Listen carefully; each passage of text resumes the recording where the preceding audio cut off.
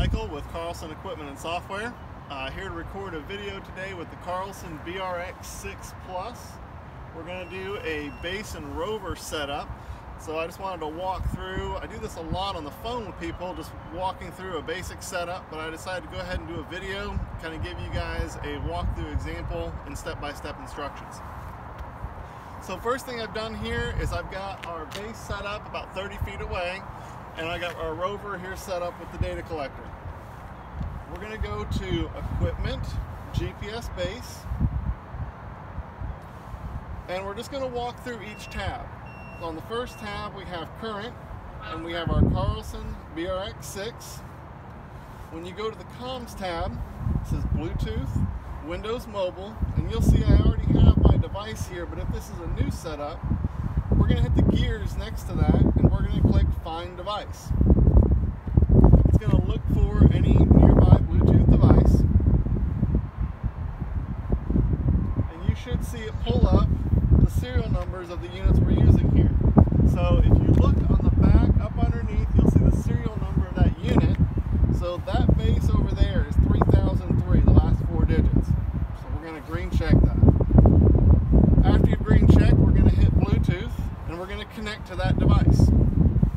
Now if you go through that find device and it doesn't immediately pull it up, it's looking for that Bluetooth out in the air. Go ahead and try it again and it should pull it up on the second time, if it didn't on the first. Now you'll see we have our device listed in here on device. Next tab we're going to go to receiver. On receiver you have our antenna height, very important to select that, elevation mask, position rate. If you're setting this up for machine control or it's going to be being set up on the same place and you want to automatically start back at the same position it was last started, you can click this auto start base. We're not going to do that today. Go ahead and click advanced and you can have the audio mode set up for the base which we don't want and you can configure your constellation so you can see I've got them all turned on here. Next thing we're going to do is go to our RTK. Now if you're running base rover with UHF radio, basic things you got to make sure you don't forget. Make sure you have your antenna, the UHF antennas, on the left side as you're facing the receiver. On the base, if you look in your kit, you'll see an aluminum rod that extends the radio antenna out and faces it up. That will give you an extra half mile range. Right now with these radios uh, antennas facing down, you'll have a one mile, approximately a one mile range depending on conditions. So here we have internal UHF, we have our message type set on RTCM version 3.2, and we're going to go ahead and hit these gears right here. This is going to go ahead and start configuring the internal settings of the BRX6 Plus. Now if you notice, we have a blue light on that unit. The blue light indicates which unit you're connected to. You will only be connected to one Bluetooth device at a time. Now, walking down through our settings, we have Satel, 1 watt. We have this set on channel 1, 461 megahertz. If you want to change that, click here, type in your frequency, and it'll change that channel to whatever you want to be on. You need to be between 450 and 470 megahertz. If you want to set up multiple channels, click the drop down, and you can select any of those channels and put a different frequency on them, or megahertz, excuse me. Channel spacing, we're going to set that on 12.5. Forward error correction is on, and that can be on or off, but they both have to match. We're going to go ahead and green check and configure that device. Now that we've got those settings in there, we're going to go ahead and green check. And the base is going to ask us, is this a new position or is this a known position? In this case, this is a new position. So we're going to click the read from GPS. If you have a known position, which you're going to be setting it up, click known position, and you have the option of a previously surveyed point, local coordinates of read, read from file. Read from file is if you've already created a reference file that it's going to load from. We're going to go back and hit read from GPS because we are sitting in an autonomous position. and we're just going to let it do 10 epochs.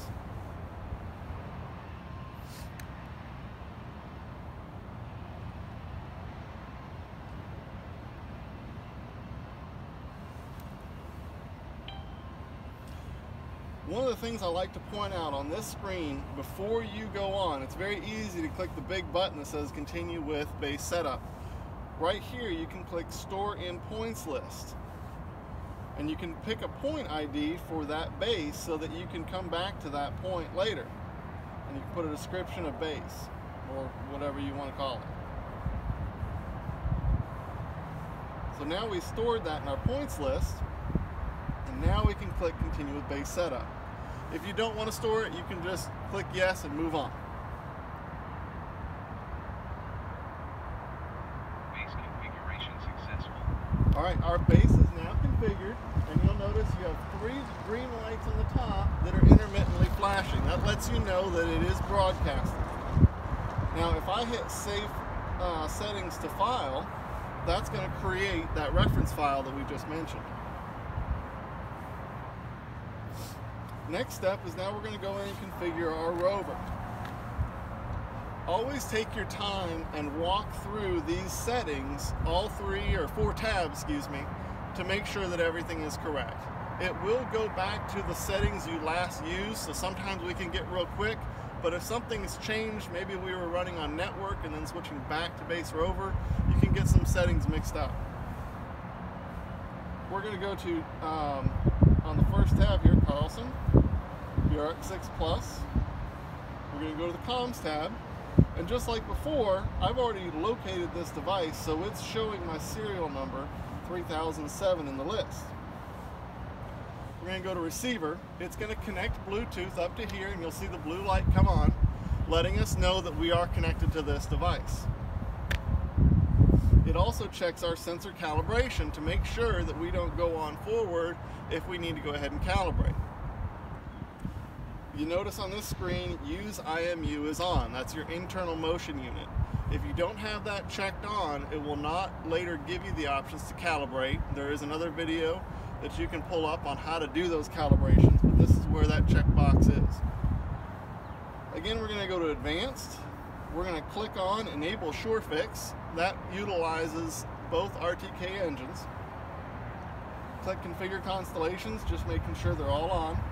And I have my audio mode on. You can have that on or off, just letting that lets the head do the talking versus your data collector. If you're running a Surveyor 2, it just beeps. It doesn't have the audio voice. So you may want to go ahead and turn that on in your head if you want to be notified of whether you're in a fixed or float uh, position. Going to green check. Now we're going to go back to RTK. I have internal UHF. I'm going to hit the gears and we're going to match the settings that we already set on the base. Radios are simple. All you're doing is matching the settings between the two so that they can communicate.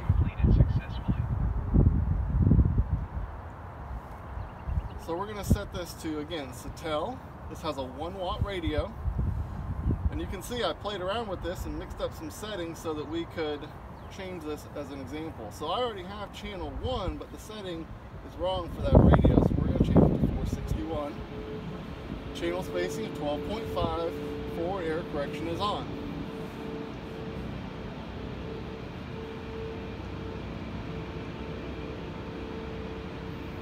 The device is configured. We're going to go ahead and green check. You notice there's another, everything else is grayed out here. Your message type is auto. It's automatically going to pick up what message type you used on the base. We're going to go ahead and green check. It's going to configure.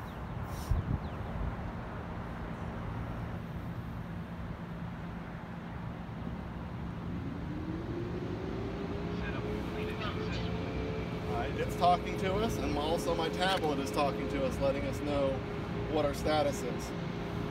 On the top left, you see our status of yellow, meaning we're in float, we're waiting to receive those corrections. Now we've got a SureFix solution, and we're green up at the top. If you want to see more details, go to Monitor Skyplot. Monitor Skyplot will show you your status, your latency. It'll show us what your horizontals, verticals, position, If you want to go to your distance, go to reference. You'll see we're 23.4 feet from the base.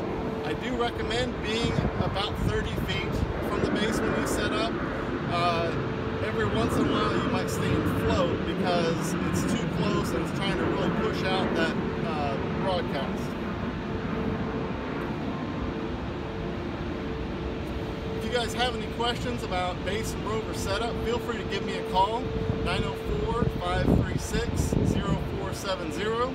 If uh, this is something new to you and you want to check out our website, there's a lot of information as far as the specs and other videos regarding the BRX 6 Plus on our website, carlsones.com. Thank you for watching.